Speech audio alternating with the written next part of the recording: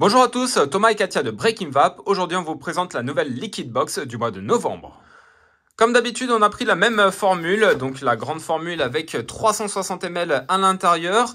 Donc on a un petit fascicule reprenant tous les noms des liquides avec euh, leur contenance. On a aussi le taux de PGVG, le taux de nicotine qu'on a demandé, la provenance avec ce qu'on a comme saveur à l'intérieur et le prix grand public sur le côté droit.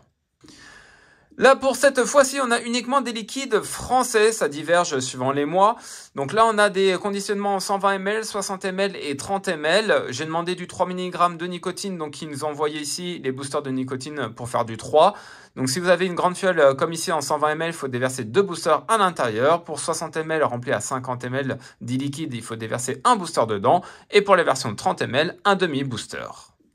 Liquidbox, qu'est-ce que c'est? C'est un site qui vous propose de recevoir chaque mois une box des liquides comme celle-ci. Vous avez des plus petits formats, des formats moyens et des formats grands comme celui-ci. Vous avez aussi des formats avec des die pour refaire soi-même son propre liquide. Une fois que vous inscrivez sur leur site, ils vous proposent euh, donc différents goûts. C'est à vous de cocher ce que vous aimez et aussi ce que vous n'aimez pas, le taux de nicotine, le ratio de PGVG. Et ensuite, vous allez recevoir comme moi une box comme celle-ci. À savoir que c'est renouvelé automatiquement. Il n'y a pas d'engagement engagement, même si c'est un abonnement, vous pouvez tout simplement envoyer un email pour leur dire que vous souhaitez arrêter. Commençons cette liquid box par le premier liquide qui est ma petite gourmandise, qui est donc celui-ci. On est parti là sur euh, un mélange de cheesecake et de myrtille. Comme tous les liquides ici sont 50% de PG et 50% de VG. Et là, euh, pour tester tout ça, je suis sur la dose compte 100 watts avec le Flev Evo 24. Et elle, elle est sur la vaporesogène avec le petit dripper qui est bien connu, le Wasp Nano. Donc là, on a mis le liquide à l'intérieur, c'est parti. Alors Katia, qu'est-ce que tu penses de ce liquide myrtille cheesecake? Je dirais un petit goût, un petit goût euh, fruité. On sent bien la myrtille. Mhm. Alors, tu ressens plus à myrtille, côté cheesecake, euh, euh, qu'est-ce qui te parle le plus? Qu'est-ce qui vient en goût? Myrtille. Tu ressens plus la myrtille? Mmh. Et toi? Alors, moi, je vais sentir euh, deux parties vraiment dissociées. Je vais sentir le côté cheesecake un peu crémeux qui va tapisser la langue. Et après, par-dessus, j'ai la myrtille qui vient se rajouter par le de, par dessus en fait le côté euh, cheesecake crémeux. et euh, du coup on arrive à dissocier euh, facilement les deux côtés le côté gourmand et aussi le, côté, fruité. Au niveau de l'intensité des saveurs j'ai trouvé qu'elles étaient moyennes. On n'est pas sur la sursaturation de saveurs mais on n'est pas non plus sur un liquide où on sent que très peu de saveurs. C'est un bon compromis entre les deux. On n'est pas sur du trop présent mais pas sur du sous présent, ouais c'est vrai que ça fait une bonne association et les deux euh, sont vraiment bien faits. On arrive vraiment à bien euh, obtenir les saveurs qui sont décrites dans le liquide, autant pour le cheesecake que pour la myrtille. La myrtille, on est sur une myrtille qui est, qui est pas trop sucrée, mais bien présente quand même. Un petit peu sucrée, mais ça reste subtil. On est sur une myrtille qui est bien mûre. Le côté cheesecake, on a, faut aimer le côté un peu crème du cheesecake, hein, bah, et le côté un peu cheese hein, du cheesecake. Mais euh, voilà, globalement, on est autant sur du fruité que du gourmand, mais je dirais que la phase gourmande, elle prend un peu plus le dessus que sur le côté euh, fruité myrtille. Bon, après, c'est euh, mes, mes goûts à moi. Pour euh, rappel, j'ai essayé bien évidemment les liquides avant la revue, ce qui explique que je ne change pas les cotons à chaque fois. Là, on fait juste euh, un petit coup pour euh, essayer, pour se remettre un petit peu les saveurs en tête. Mais voilà, globalement, on les a déjà essayés au préalable. On va passer donc maintenant sur le deuxième liquide, qui est celui-ci. Là, on est parti sur le Coq Vape, un caramel beurre salé. Donc, on va hop, assécher un petit peu les cotons.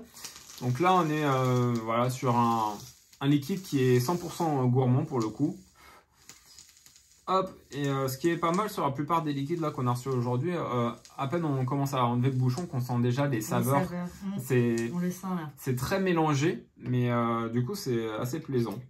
moi j'aime bien ouvrir un flacon et sentir les saveurs sans même essayer le, le liquide, même si les sensations entre ce qu'on peut sentir et ce qu'on peut vaper diffèrent suivant les liquides aussi parfois.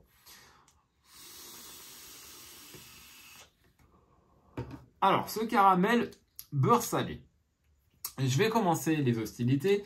Euh, on sent, on sent le côté caramel, il est bien présent. Le côté beurre salé aussi, on le sent un petit peu par la suite. On a vraiment le caramel qui vient en bouche. Mais euh, j'ai une sensation un peu étrange avec le côté caramel. On dirait qu'il est un peu dissous. Je pense que euh, le liquide, il est vraiment fluide, euh, donc en 50-50 PGVG. Je sens, je vais pas dire de l'eau, mais voilà, j'ai, on, a un peu un caramel dilué. Voilà, c'est mon avis dessus. Après, le côté beurre salé, on le ressent bien comme il faut. Ça, ça donne, ça amplifie un petit peu le côté caramel. Je sais pas ce que tu en penses. Moi, je ressens bien le côté caramel, mais en effet, on a un petit goût de, de dilué, euh, comme si c'était dilué avec de l'eau. Ouais, c'est ça. Ça fait, euh, mm, ça fait un goût bizarre, mais à la fin, on retrouve quand même ce côté caramel euh, beurre salé. Alors, ce qui est étonnant, c'est que ce liquide-là, j'avais déjà essayé en version DML, j'avais pas eu cette problématique-là. Là, je ne sais pas pourquoi sur cette version 50 ml, alors c'est peut-être ce liquide-là en question qui, procure cette sensation-là. Peut-être qu'il n'a pas été assez steppé. Mais en tout cas, voilà, j'ai cette sensation de, de, caramel un petit peu dilué. Mais après, c'est pas mauvais. On a, on a le caramel qui est bien fait. Qui est bien prononcé. Mm. Mais on ne sent pas le côté caramel vraiment euh, trop gourmand. Euh, je sais pas si pas trop sucré. Euh, pas trop sucré. Euh, il vient pas, saturer la bouche. c'est assez léger, mais c'est quand même présent. Et côté beurre salé, après, ça, ça rajoute un petit peu. Mais c'est le côté caramel qui prend le dessus. Mm. C'est tout ce que tu as à dire pour celui-là, c'est bon? Ok. On passe sur le troisième, qui est celui-ci. La maison euh, distiller, c'est un sorbet kiwi pêche cassis. Et donc euh, on a 3 4 saveurs. Donc euh, sorbet, je sais pas si vraiment c'est un saveur, mais on a le kiwi pêche cassis. Donc là, on est sur un liquide, voilà la marque, j'ai déjà essayé des liquides de chez eux comme les deux autres hein, d'avant. Euh, moi, j'avais particulièrement apprécié cette marque-là parce que c'est vrai qu'ils ont beaucoup de, saveurs gourmandes qui sont assez bien réalisées. Euh, allez, on va mettre un petit coup de sorbet. Donc là, sur la Liquid Box, on, reçoit autant des fruités que euh, des gourmands ou des fruités gourmands. Comme j'ai décidé, pour ma part, de choisir type de saveur, en dehors euh, tout ce qui est un peu anis, euh, réglisse, que c'est pas trop mon truc, et pas ce qui est tabac. Du coup, bah, j'ai euh, des propositions qui sont dans ce que j'ai opté à mon inscription. Allez, on passe sur celui-là.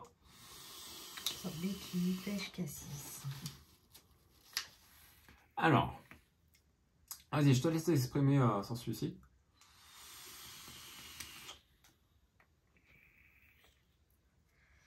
Alors, moi, ce qui me vient en premier, c'est le kiwi, de suite. Euh, par contre, le cassis, je ne le ressens pas spécifiquement.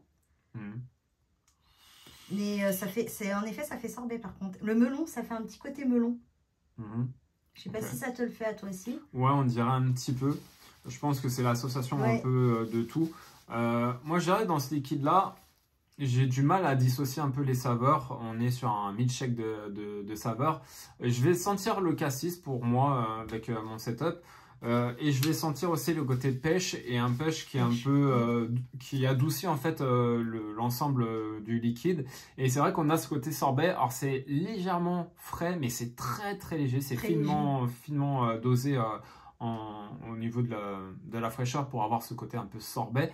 Mais euh, c'est vrai que ça reste pas mal. Mais le côté kiwi, pour moi, sur, mon palais, il n'est pas encore assez présent pour, euh, mes euh, convenances personnelles. Mais et par contre, pour moi, c'est le kiwi qui ressort en premier lieu. Voilà, comme, quoi, les palais sont différents. C'est ça. Après, moi, j'ai le côté pêche que j'aime beaucoup. Euh, on n'est pas sur un liquide qui est super prenant au niveau des, des, des, des saveurs. C'est pas trop sucré non plus. On est sur des, des liquides, là, pour les trois qu'on qu'on a passé avant, sur des liquides all days qu'on peut vaper tous les jours sans, sans s'écurer, en fait, du liquide. Et euh, voilà, je trouve que les, les trois saveurs, pêche, cassis, euh, kiwi, ça, ça, se mélange bien. Mmh. On est sur du multi-fruits sorbet. Donc voilà. J'aurais peut-être J'aurais peut-être aimé un petit peu plus de fraîcheur pour le côté sorbet. Euh, vu que c'est noté comme sorbet, mm. ça aurait pu être un, juste un fruit exotique légèrement frais, mais si j'avais euh, choisi à titre personnel de constituer ce, ce, liquide-là, j'aurais ajouté peut-être une petite pointe de fraîcheur supplémentaire. Après, c'est qu'un avis personnel. Je suis hein. d'accord aussi. Voilà, donc moi je dirais prédominance euh, de pêche, après le kiwi, après le cassis, et à la fin, des petites notes de kiwi légères. Et moi, je dirais le kiwi, un goût de melon pour ma part. Je pense que c'est l'association pêche cassis qui fait le, côté melon. Et euh, par contre, je ressens pas le, côté cassis. Euh, cassis. Cassis, pardon. le côté cassis, je, moi par contre, je ressens pas. Mais euh, j'aime bien ce, ce, liquide.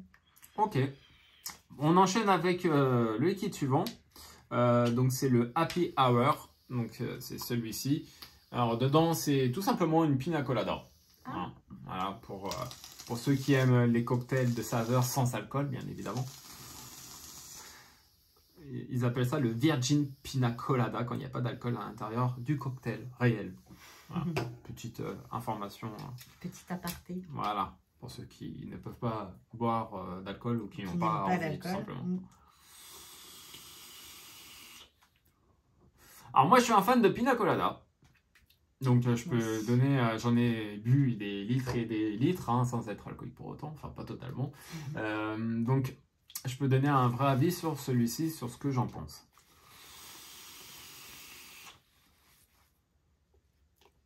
Alors, on ressent bien le côté euh, noix de coco de la pina colada. on va sentir légèrement le goût d'ananas. On a vraiment le côté coco qui prend le dessus sur le côté ananas. On n'a pas de fraîcheur du tout euh, sur ce liquide-là. Mais j'aurais préféré peut-être un peu plus sucré, parce que moi j'aime bien boire la pina colada, on sent euh, le sucre de, la noix de coco, de, l'ananas, etc. Là c'est euh, un peu sucré de façon light, après ça conviendra à beaucoup d'entre vous, je suis sûr. Mais voilà, moi j'aurais aimé une petite dose supplémentaire, mais c'est vrai qu'on ressent bien, on, arrive directement, à, directement à déceler le goût de la pina colada, totalement. Même quand on sent au nez, on sent directement la, saveur qui s'en échappe. Et euh, du coup, c'est bien restitué. Totalement. Un petit peu plus sucré, j'aurais aimé. Mais moi, je suis totalement d'accord avec Thomas. Euh, un petit peu plus sucré, ça... Mais après, ça, on a vraiment le goût de la pina colada. Mais c'est vrai que le côté un peu plus sucré aurait été parfait. Après, par exemple, celui-là, c'est un liquide que je vais après, par exemple, le soir ou euh, dans, dans, un après-midi, je ne le ferai pas toute la journée pour ma part, parce que j'ai peur que ce soit écœurant, surtout la noix de coco, c'est euh, assez euh, lourd comme, comme saveur, c'est super bon, mais c'est un peu lourd. Donc je dirais que celui-là, c'est vraiment pour certains moments de la journée, ou le week-end, ou des choses comme ça, pour éviter de s'en écœurer trop rapidement, et pour garder cette sensation de, de bien-être de pina colada. Mais par contre, à force de le vapoter, on ressent. Enfin, moi, pour ma part, ça me reste vraiment le goût de la noix de coco à la fin. Même sur les lèvres. Mm. Et euh, j'aime beaucoup. Ouais, la noix de coco, elle est vraiment euh, bien réalisée. L'ananas, c'est vraiment beaucoup plus light sur la, sur la fin. Enfin. Sur la fin, oui. Allez, on enchaîne sur le format 120 ml de bonheur, le Wow Candy. Donc celui-ci, c'est un dulce croco, euh, un brugnon et un ananas. Brugnon. Voilà. Donc ça, c'est à fond euh, fruité. Allez, c'est parti pour le brugnon avec une petite dose d'ananas. Hein. ça tombe bien, on vient de sortir euh, de la pina colada coco ananas. Hop là, c'est parti pour un tour. Alors, première chose qui est prenante dans ce liquide-là, alors celui-là, du coup, il est beaucoup plus sucré que les précédents moi j'aime. Hum, on a une fraîcheur qui est, euh, qui est bien présente. Elle euh, elle vient pas déraciner toute la gorge, mais on la sent très très bien. Moi j'adore, euh, c'est juste ce qu'il faut entre le côté fruité, le côté frais. Les deux c'est magnifique. Moi j'aime pas forcément un liquide qui est fruité, fruité exotique un petit peu, sans avoir de fraîcheur. Parce que c'est comme les fruits, on aime que ça soit bien frais, en tout cas pour moi. Et j'ai trouvé que celui-ci, il était bien situé. Alors, le brugnon, l'ananas, qu'est-ce que tu ressens, toi? Euh, Moi, je ressens les deux, brugnon et ananas. D'accord. Il n'y a pas un que tu ressens plus que l'autre?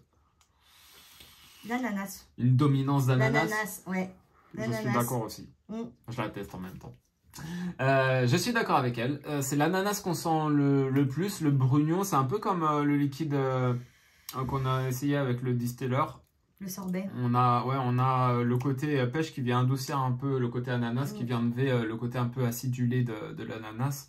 Et du coup, en plus, avec le sucre supplémentaire de tout ça, c'est vraiment euh, un ananas qui est doux, et appréciable à vaper. Et la fraîcheur, pour moi, c'est le petit Graal au-dessus. Ouais, bah, j'aime beaucoup celui-ci. Hein. C'est vrai que le côté fraîcheur est... Ouais, j'aime bien. C'est vraiment bien dosé comme il faut. Ouais. Je sais, je sais qu'il y en a beaucoup euh, qui adorent la fraîcheur, comme il y en a d'autres qui n'aiment pas du tout. Et euh, honnêtement, sur certains liquides, quand c'est bien proportionné comme ça, ça mérite d'essayer. Pour ceux qui aiment et pour ceux qui n'aiment pas, vraiment se faire une idée dessus parce que la fraîcheur toute seule, c'est une chose, mais quand c'est mélangé avec des fruités ou autres, ça donne une autre sensation. Ouais. Donc à essayer, euh, honnêtement, si vous avez la possibilité de le tester. Moi, je le conseille en tout cas. Hein. Il est, Allez, on enchaîne avec le dernier c'est celui-ci. Alors, c'est le Twist Nashi. C'est de la pomme nashi entre pomme et poire. Voilà, c'est un, peu un mix euh, entre les deux. Donc là, on est uniquement sur un liquide fruité, comme le précédent. On assèche tout ça, on met une petite quantité à l'intérieur. Donc là, pomme, poire. Il a l'air excellent celui-ci. Alors, celui-ci. On a aussi une note de fraîcheur. Euh, je dirais qu'elle est un peu plus prenante que la précédente. Euh, ça vient taper un petit peu plus euh, au fond de la gorge. Donc un peu plus agressif en fraîcheur. Mais on a, pareil, on, a toujours ce, ce, dosage de fruité qui est bien intense et bien sucré aussi. Je dirais qu'au niveau du sucre, l'un et l'autre, c'est assez équivalent. Sauf que là, j'ai l'impression que les saveurs fruitées sont un peu plus présentes. Plus sucré, je dirais. plus sucré et un peu plus présente euh, au niveau des sensations. Euh, le côté pomme-poire, moi je dirais que je sens un peu le côté pomme verte et le côté de la, la, poire, euh, poire, bien mûre. J'ai trouvé ça aussi bien dosé dans la pomme que dans la poire. Je sais pas. alors moi, je, je, ressens directement la poire pour ma part, mais c'est vrai que le pomme verte, on le ressent moi bien après. Ouais. Et ce petit côté fraîcheur très agréable qui vient euh, au fond de la gorge, comme dit Thomas, euh, qui reste même au fond de la gorge. Euh, dominance de poire, je dirais excellent. Pour l'instant, j'ai l'impression que c'est mon, mon liquide On ne dit pas, ce sera que pour la fin. donc voilà, on est sur un, voilà, sur un bon mix entre pommes vertes et poire bien, bien mature. j'ai trouvé que la poire était vraiment bien faite pour le coup. Euh, on en avait déjà eu euh, précédemment, mais là, la poire est vraiment bien bien réalisée. On la sent tout de suite. On n'a pas besoin de lire la description, ça nous s'autopapille directement. directement. Et côté pomme, on le ressent aussi. Il n'y a pas besoin de rechercher. On a vraiment les deux choses euh, vraiment distinctes au niveau des, arômes. Donc c'est plutôt bien. Côté fraîcheur, moi j'aime bien la fraîcheur, donc ça ne me dérange pas. C'est vrai qu'elle est un peu plus présente que la, précédente, mais du coup, bah ça ça, s'associe euh, superbement bien. Mm. Donc du coup, Katia, si tu devais choisir un liquide parmi toute cette gamme-là ben, Je dirais euh, le Nashi.